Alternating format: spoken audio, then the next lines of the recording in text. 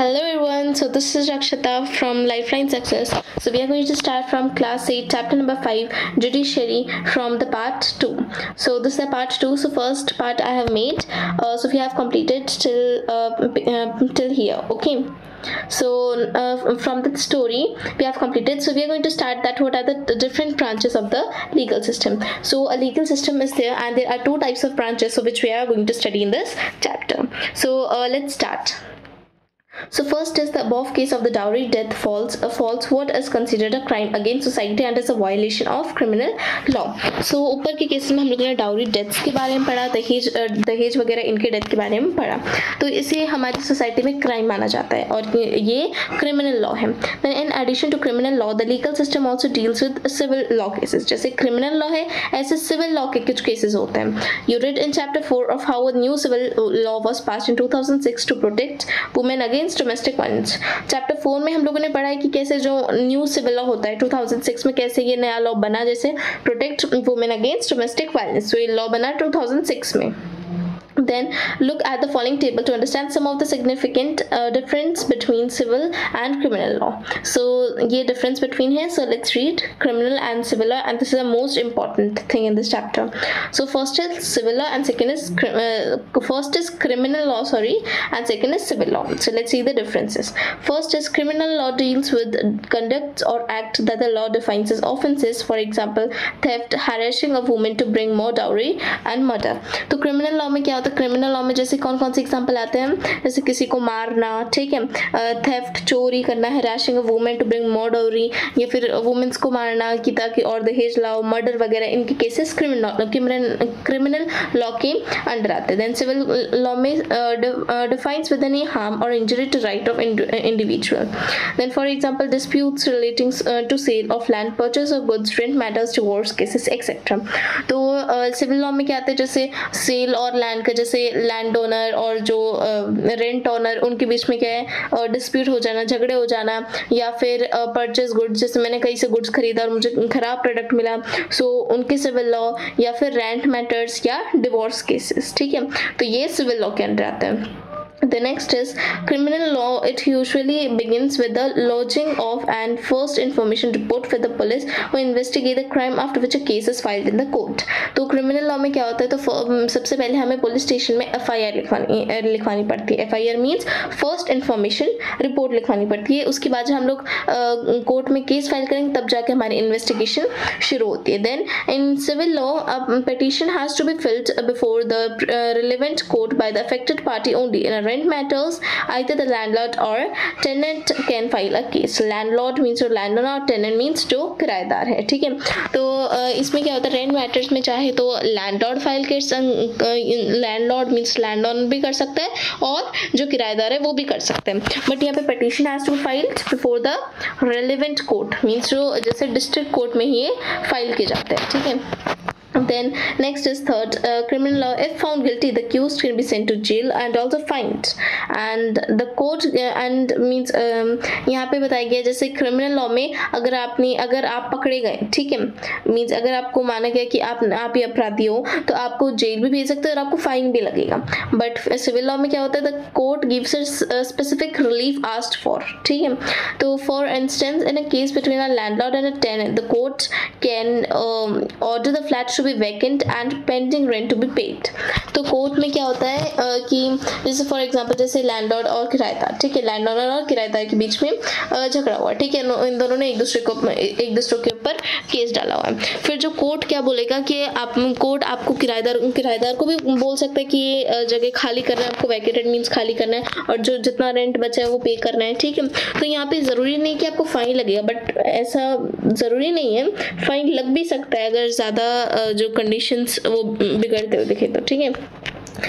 Then after that um, next is does everyone have access to court? क्या सब लोग court जा सकते हैं? क्योंकि कोर्ट uh, जाने के लिए पैसे लगते हैं एंड अगर कोई पुअर हो तो कैसे जाएगा? ठीक है सो लेट्स सी सो आंसर वैसे तो कॉन्स्टिट्यूशन के हिसाब से देखे जाए तो yes answer but does everyone have access to court सब जा सकते हैं। हाँ सबके राइट्स हैं बट नो क्योंकि उसके लिए पैसा चाहिए टाइम भी चाहिए education you also have to ठीक है so these you should be having so let's see in principle means in laws all citizen of India can access the court ठीक है? मीन्स कोर्ट में सभी के पास एक्सेस सब लोग जा सकते हैं। This implies that every citizen has right to justice through the courts it means that सबको मीन्स हर सिटीजन को क्या है? Right है, न्याय मिलने का सबको अधिकार है।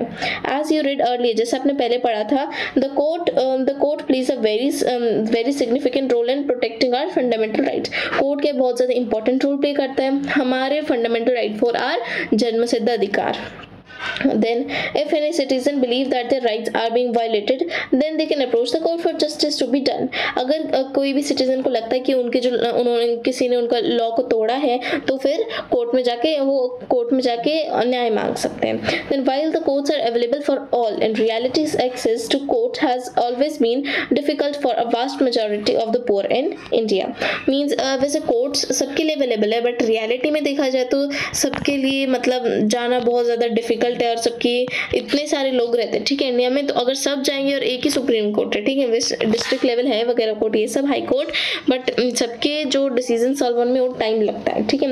And legal procedure involve lot of money और इसमें पैसे भी बहुत लगते हैं paper work as well as take a lot of time और पेपर वर्क डॉक्यूमेंट्स वगैरह, ये सब ये सब इकट्ठा करने में, इसमें भी बहुत ज़्यादा पेपर वर्क होता है, ठीक है। And for poor person who can not read and whose family depends on a daily side of going to court to get justice often seems remote ठीक है?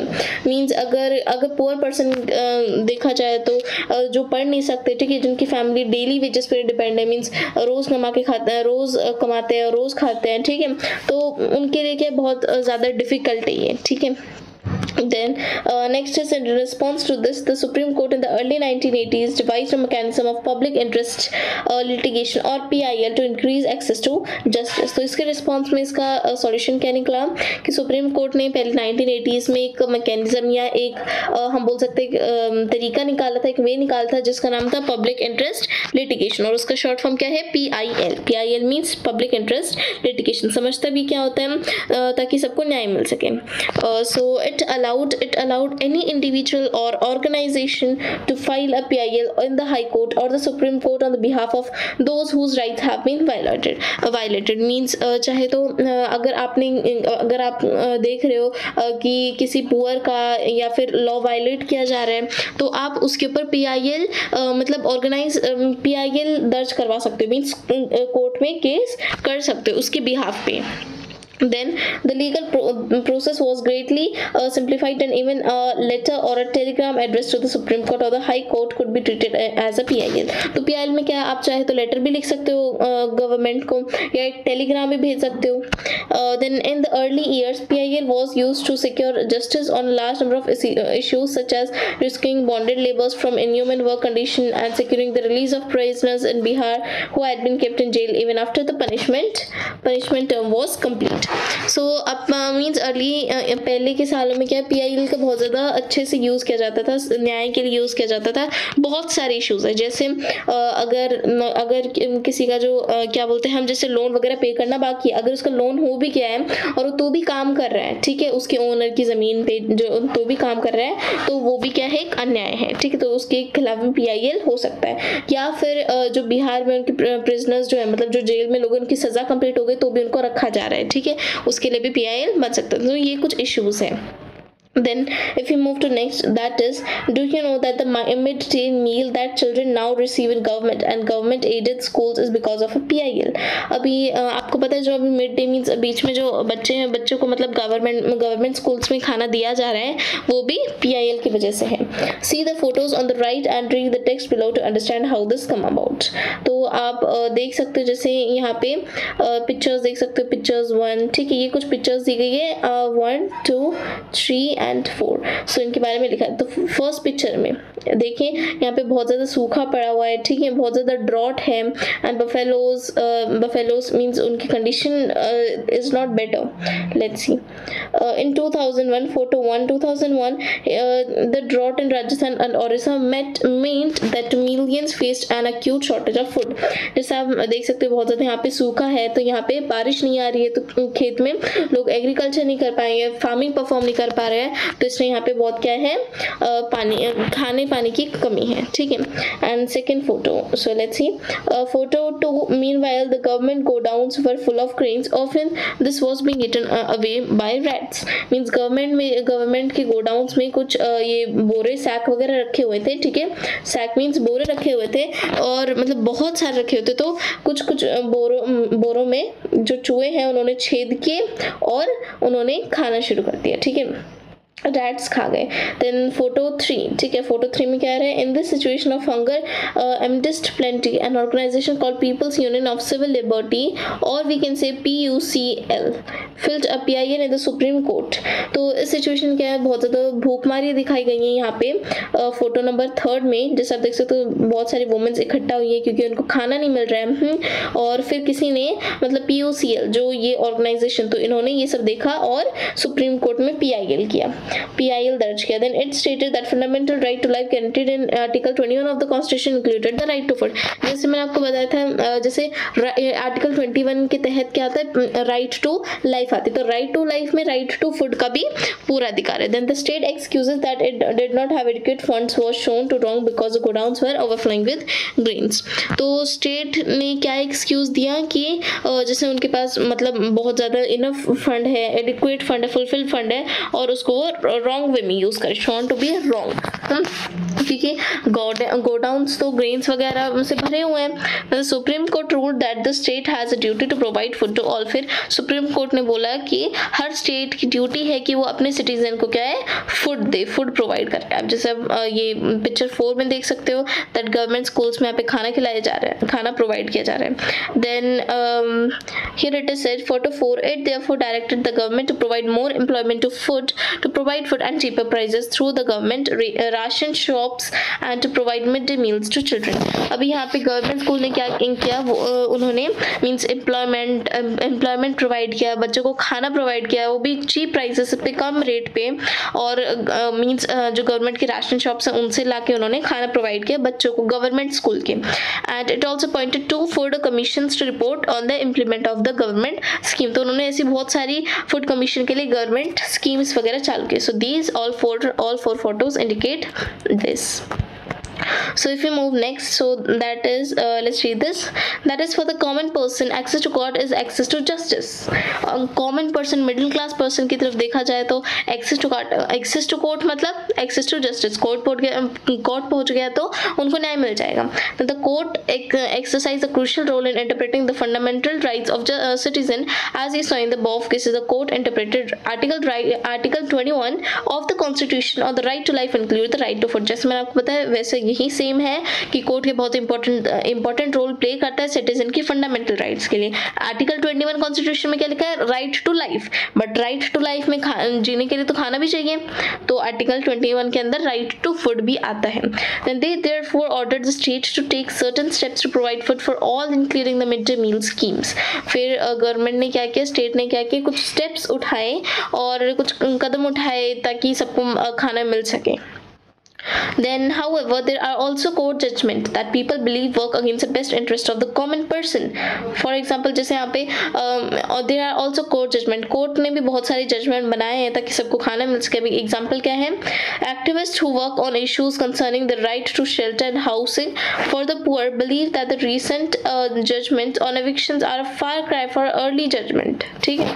तो यहाँ पे इसमें बताया गया है कि एग्ज़ाम्पल uh, के लिए जैसे एक्टिविस्ट एक्टिविस्ट uh, जो मतलब uh, काम कर, काम करते थे। जैसे जिनके पास रहने का कोई ठिकाना नहीं है, बहुत पुअर है, बहुत पुअर से ये बिलोंग करते तो उनके लिए भी कोर्ट ने बहुत सारे जजमेंट्स बनाए। Then while recent judgements tend to view the slum dwellers as an encroacher in the city early judgements like the nineteen eighty five all Bombay municipal corporation had try to protect the livelihoods of slum dwellers तो ये ऐसे ही एक और cases slum dwellers mean जो झोपड़पट्टी वगैरह में जो लोग रहते हैं, उनको स्लम ड्वेलर्स कहते हैं। तो यहाँ पे पे एक केस है जिस, जिसका नाम क्या है? Olga Tellis versus Bombay municipal corporation Olga Tellis versus Bombay municipal corporation तो इन्होंने ट्राई किया था ताकि ये स्टम डवेलर्स की लाइवलीहुड उनका जो रोजी रोटी है, वो प्रोटेक्ट कर सके। So uh, more is left so first we are going to finish uh, first we are going to see this okay so this is the most important thing in this chapter and first is the judgment of the Olga Tillis versus Bombay Municipal Corporation established the right to livelihood as a part to the as a part of the right to life तो means जैसे Olga Tillis और Bombay Municipal Corporation इसमें क्या था एक judgment इन्होंने दी थी कि uh, हमें right to life में livelihood भी तो आता है right to livelihood भी आता है जीने का भी अधिकार है हमें अभी the following uh, excerpts from the judgment point to the way in which the judges linked the issue uh, of the right to life or, or to that of livelihood तो कॉन्स्टिट्यूशन में बताया गया कि right to life में right to food भी आता है उसमें राइट टू लाइवलीहुड जीने का भी अधिकार आता है रोजी रोटी भी उनको मिलनी चाहिए टाइम टू टाइम तो these rights were have to this right has to be given to the citizen the sweep of the right to life concerned by the article 21 is wide and far reaching the life means something more than mere animal existence so right to life life मतलब animal existence से थोड़ा सा और ज़्यादा है ठीक है? वही सेम लाइफ तो एनिमल भी जीते हैं बट एनिमल से ज़्यादा क्या है? एनिमल सॉरी एनिमल से ज़्यादा पीपल की नीड है right and it does not mean merely that life can not be extinguished और टेकन अवे एज ओके इसका मतलब ऐसे नहीं कि लाइफ को ऐसे ही ले लिया जाए। देन इसे हम एक एग्ज़ाम्पल से समझते हैं then by the imposition or and execution of the death sentence except according to procedure establish by law जैसे लॉ में यहाँ पे प्रोसीजर बताया गया है तो वही हमें यहाँ पे फॉलो करना है। That is but one aspect of the right life तो यही क्या है एक एक्सेप्ट uh, एक एक्सेप्शन केस है ठीक है राइट टू लाइफ में। But an equally important important facet of that right right is that the right to livelihood because no person can live without the means of living that is a means of livelihood अभी right to life मतलब ऐसे ही नहीं। Life तो same animal भी जीते but people को क्या ज़्यादा नीड्स चाहिए, खाना चाहिए, रहने रहने के लिए जगह चाहिए, पानी चाहिए, सब कुछ चाहिए उनको, ठीक है, कपड़े चाहिए, सब कुछ एवरीथिंग तो वो सब राइट टू लाइफ के अंदर आते तो यहाँ पे यही बताने की कोशिश की कॉन्स्टिट्यूशन में सिर्फ़ राइट टू लाइफ नहीं और भी राइट टू चीज़ें आती है, जो every citizen should be provided with now after that next that the eviction of a person from a pavement or slum uh, will uh, inevitably lead to uh, deprivation of means of livelihood is a proposition which does not have to be established in each individual case तो eviction of person from जैसे अगर कोई भी person जो slum slum area से है ठीक है तो उसको भी उसके पास भी पूरा right है right to livelihood means of livelihood उसके पास भी अधिकार है but which does not have to establish in each individual case slum dwellers अगर एक कम्युनिटी है तो उनके लिए अधिकार है बट अगर कोई अकेला पर्सन है ईच इंडिविजुअल तो उसके लिए हमारे पास हम उसको ये राइट टू लाइफ नहीं दे सकते। ऐसा क्यों है? ऐसा नहीं होना चाहिए। In the present in the present case that fact constituting empirical evidence justify the the petition, petitioners lives in slums and uh, and on pavement because they have small jobs to nurse in the city. For them there is nowhere else to live. जैसे कुछ कुछ लोग footpath वगैरह पे payment means footpath वगैरह पे सोते हैं वहाँ पे रहते हैं हम्म, तो वहाँ पे उनको क्या है उनका अलाउ नहीं है ठीक है? क्योंकि वो तो रोड है ठीक है? वो उनका थोड़ा वो सबका है तो ऐसा यहाँ पे बताया गया है कि वहाँ पे उनको वो रोड भी प्रोवाइड करना चाहिए क्योंकि उनके पास और कोई जगह नहीं है रहने के लिए। दे choose a pavement or a slum in the vicinity of that place to work and lose the pavement or the slum is loss the job अगर वो वहाँ पे मतलब जैसे कोई सब्ज़ी बेच रहा है वहाँ पे अगर उन्होंने वहाँ पे ठेला लगाना छोड़ दिया तो उनकी जॉब भी छोड़ जाएगी मीन्स उनका राइट टू लाइफ लाइवलीहुड छीन लिया गया उनसे। Next is the conclusion therefore is that the eviction of the petitioners will lead to deprivation of the livelihood and consequently due to the uh, consequently to the deprivation of life. अब जो मैंने same बताया वो वहीं इधर लिखा हुआ है कि अगर वहाँ पे उन्होंने वो सब्ज़ी बेचना है फ्रूट्स जो भी सेल करना छोड़ दिया सो उनका राइट टू लाइवलीहुड उनकी रोजी रोटी वो भी बंद हो जाएगी and it will lead to the deprivation of life तो ये था केस किसका? ऑलगा टेलीसेंट बॉम्बे म्यूनसिपल कॉरपोरेशन का। This is all about this then if we move next is that is another issue ठीक है, अभी दूसरा इशू है। Another another issue is that that affects a common person access to justice is that inordinately long number of years it courts take to hear a case अभी case सुनने में ही इतने साल लग जाते हैं, ठीक है? तो केस सॉल्व करने में तो और टाइम लग जाएगा। Then the phrase justice delayed is justice denied तो ये कहावत है, अगर न्याय न्याय देर से हो रहा है तो न्याय किस काम का? ठीक है न्याय देर से हो रहा है तो न्याय किस काम का? Is often use to characterise this extended time period that court takes ठीक है? तो अभी हम मैंने अभी देखो अभी मैंने अभी अपना केस किसी के ऊपर फ़ाइल किया ठीक है? तो अब दो तीन साल बाद वो मेरा केस सुना जाएगा फिर इससे भी ज़्यादा टाइम लग सकता है। फिर पाँच छः के बाद मेरा केस सॉल्व किया जाएगा। अब वो भी पता नहीं कि उतने टाइम में होगा कि नहीं। तो ये आ, कहा जाता है कि justice delayed is justice denied अगर जस्टिस न्याय देने में इतनी देर की जाए तो न्याय किसी काम का नहीं है ठीक है? And then these are number of जजेस इन इंडिया जैसे सुप्रीम कोर्ट में कितने जजेस है? सेंक्शन स्ट्रेंथ 34 है। और जितने वर्कर है वो भी 34 है। वैकेंसीज कोई भी खाली नहीं है। हाई कोर्ट में कितने जजेस है? 1079 सेंक्शन स्ट्रेंथ है। मतलब टोटल स्ट्रेंथ इतनी है। बट उसमें से कितने काम करे ओनली 655 और वैकेंसीज 424 अभी भी खाली है। ठीक है? Then district and subordinate court ठीक है? Uh, जो एकदम डिस्ट्रिक्ट uh, लेवल पे या तहसील लेवल पे उसमें 22,644 सेंक्शन स्ट्रेंथ इतनी टोटल है, और कितने वर्क कर रहे हैं? Seventeen thousand five hundred nine और कितनी वैकेंसीज खाली है? Five thousand one hundred and thirty five so इतनी वैकेंसीज खाली है जजेस के लिए।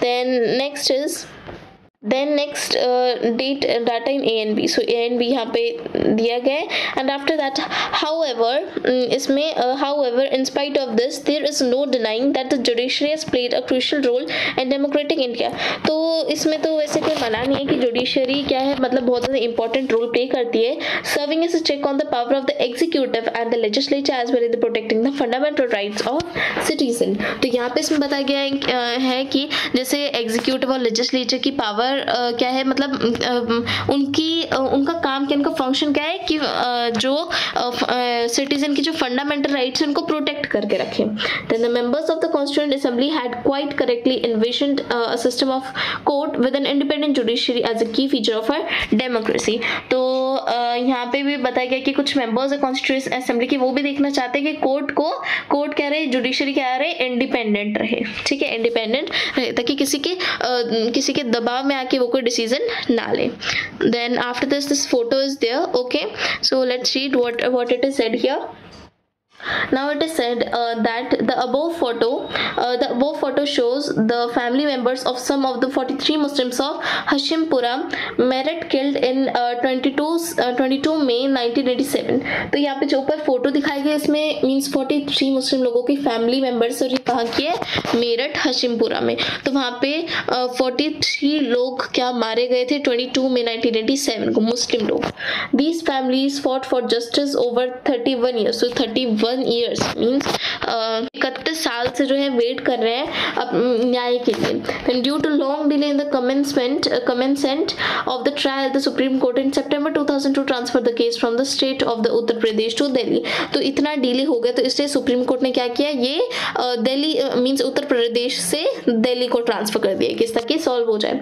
The nineteen provincial armed constabulary means P S C man faced criminal prosecution for alleged alleged and murder and other offences तो उनको गिरफ़्तार किया गया कि उन्होंने मर्डर किया है या फिर चोरी की है थेफ्ट किया है क्रिमिनल केस के लिए उनको अंदर कर दिया गया, जेल में डाल दिया गया। Then by 2007 only three prosecution witness has been examined पूरे मींस 2007 तक ही, सिर्फ़ तीन ही गवाह उन्होंने देखे examine kiye then finally the delhi high court convicted uh, convicted the accused persons on 31 october 2018 photo was taken at the press club lucknow 24 may 2007 फिर 2031 अक्टूबर 2018 means 2007 से लेकर 2018 आ गया तब जाके उनको सजा मिली जिन्होंने uh, 43 मुस्लिम्स को मारा था ठीक है so this is all about this chapter so we have completed this chapter या वन मोर थिंग दैट जो सेम पिरामिड आपको दिखाया था आप सेम ऐसे बना सकते हो जो एक्सरसाइज में देख सकते हैं question number question number is three ठीक है? Then supreme court high court and third is lower court lower court को हम ट्रायल कोर्ट भी बोलते हैं और district court and tehsil court ठीक है? And high court and then is supreme court so this you can make as which is shown here wait I will show you yes is it here? Uh, this is here. You can make uh, you can copy it from copy down it from the exercise question question number three. So we have completed this chapter. This is all about this chapter in the judiciary. So uh, thank you. Thank you so much for watching this video. So we will meet again by the next chapter. So please don't forget to like share and subscribe this chapter. So bye guys